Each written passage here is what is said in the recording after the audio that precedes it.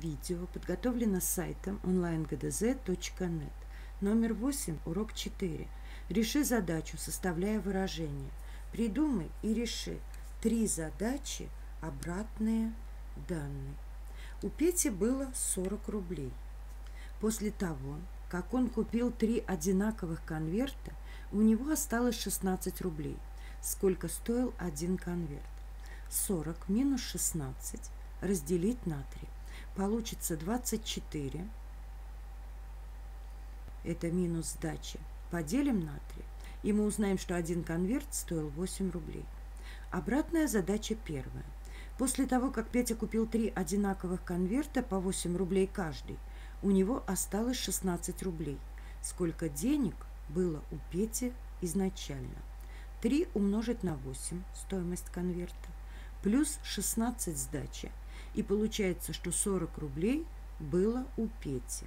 Ответ – 40 рублей.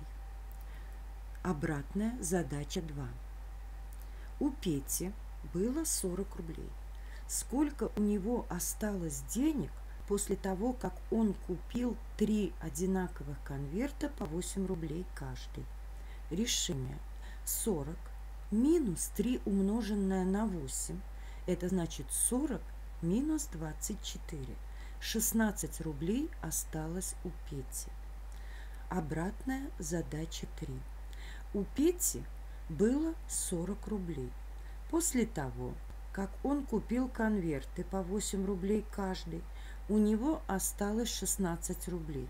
Сколько конвертов купил Петя? Решение 40 минус 16 разделить на 8.